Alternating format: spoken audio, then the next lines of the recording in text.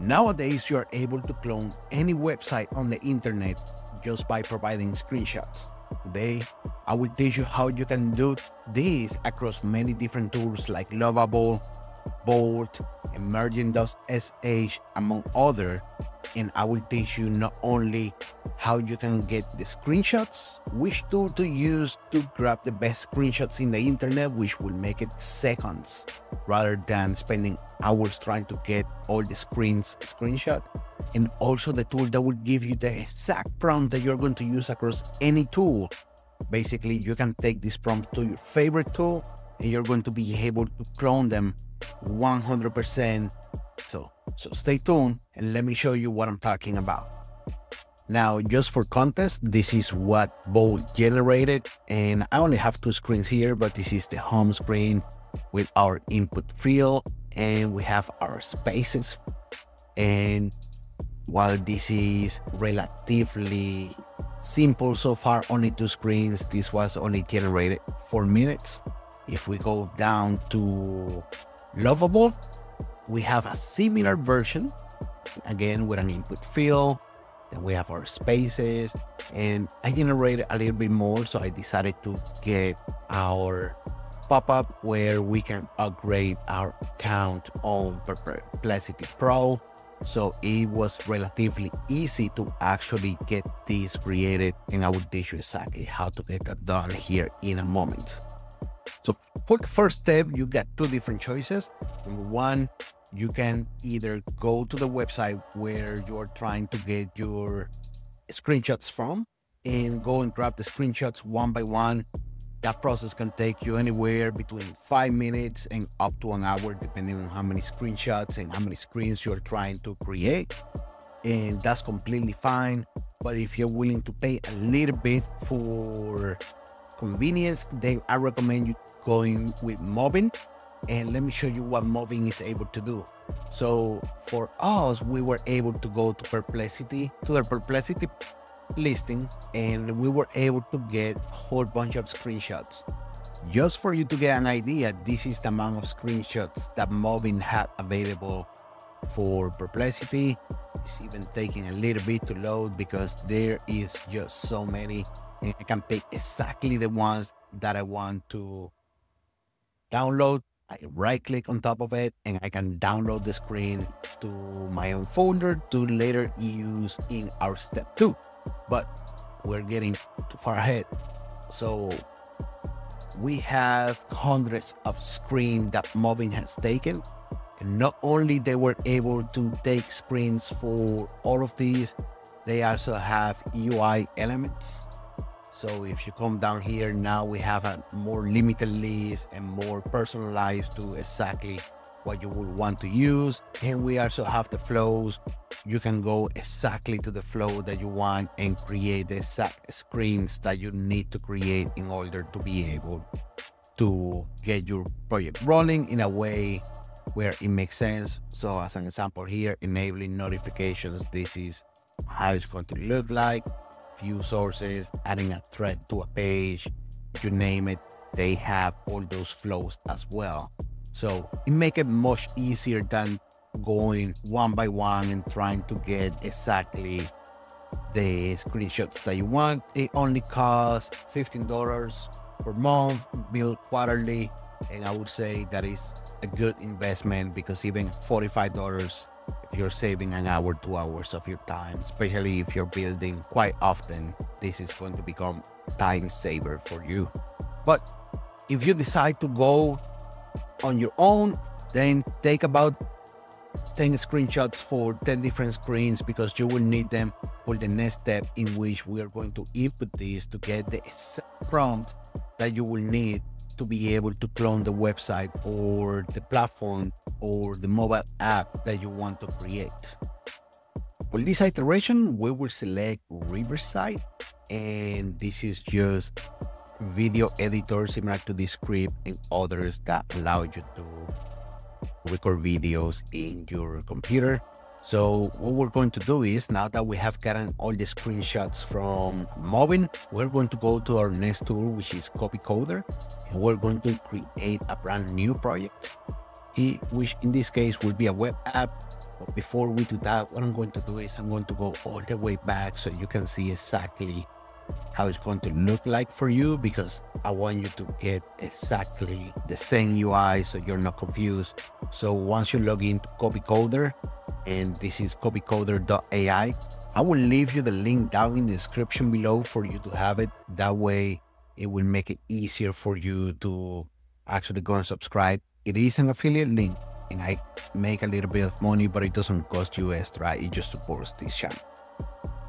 So once you're here, what you want to do is we're going to add the first picture and this is the project's picture and you want to add the picture of the dashboard or the landing page, that initial page that will have all the links and all the buttons to everywhere where you want to navigate.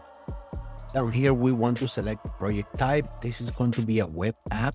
We're going to hit generate this will allow the AI to start working on it and make sure that it's generating exactly all the pages that it needs to generate. For the second step, it make sure that it creates all the pages that we have there. So let's start uploading one by one. This is the project page. Let me open down here the other pages so we can make sure that we have exactly the pages that we need. So we have Open Studio, and the Open Studio was the record. And this one, but we have here the upload. So we're going to create this page and we're going to add the upload screen. And have the create account page, which we get a screenshot for. And then we have the plan page and so on and so forth. Basically, the idea is that you can create up to 10 different pages for which you can add screenshots and the AI will actually generate exactly what you need in terms of the prompt and what you would provide to the other tool.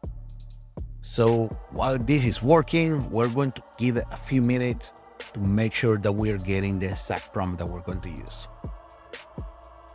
It is important to know for you that I am on the starter plan and the starter plan only costs $15 per month and it allows you to create one project time. So every time that you have a project, once you're done, you have to delete it in order to be able to create your next one. Not big deal. I wanted to make sure that you were aware of that. Now, with that being said, now we have all of our prompts and you have your CLI command and direct download. We're not going to worry about that. We're not going to play around with it. What we want is we want to go to the front end and we want to start copying one by one. So for this one, we have the main page created, the Open Studio project upload, basically every single page that we added, it was actually added there. And, and all we have to do is click on this icon and copy this prompt and we're going to paste it into our step number three, which will be going to emergent.sh and we're going to close this. And basically what we want to do is we're going to paste this prompt here and we can select uh, the the LLM that we want to use. We will use Claude because I like it the most. Then we can use different agents, whether it's the mobile agent for mobile apps or the E-1.1, one, which is fast and flexible, but we want to keep the E1, which is stable and true and there would be nothing else that would be added. It's worth mentioning I am in the free plan, but Emergent is one of those tools that is worth paying for if you're going to be serious about building. It's one of the best tools in the market when it comes to AI coding tools. And my experience with them have been great. If you want a much more in-depth video about emergent.sh. I will leave you the link down in the description below. Also, if you don't have your account with emergent.sh, I'm also an affiliate for them. So if you are planning on subscribing, please consider using my link. Again, it gives me a little bit of money, but it doesn't really cost you anything. And it's always nice to be able to support the channel this way. That way I don't have to go into paid model. But we're going to give a few minutes for Emergent to actually generate this website and we will see what we get out of it. All right, and after a few minutes of work, this is what we get. So we're going to open this in a new tab and we're going to compare this to our screenshot. And, let's try this. All right, let's see. All right, so sidebar wise, this is dark gray, this is blue. Other than that, I mean, there were some elements that were actually outside out of place, but not that bad. Then let's here you have heading one, two, three, four, five, five different options. Then you have the projects. And down here you have some videos. Or oh, actually pop up for them. All right that's pretty cool. All right guess nothing else.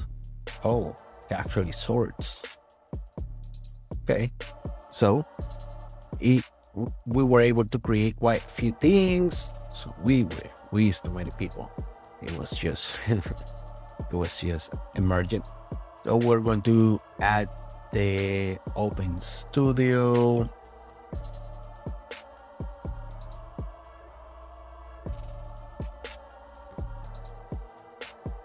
When use or widget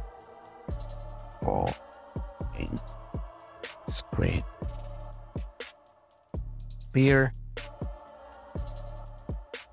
and we're going to send this again let's give it a couple of minutes and let's see what happens. And what it looked like we ran out of credits. I would say that we were able to get pretty far.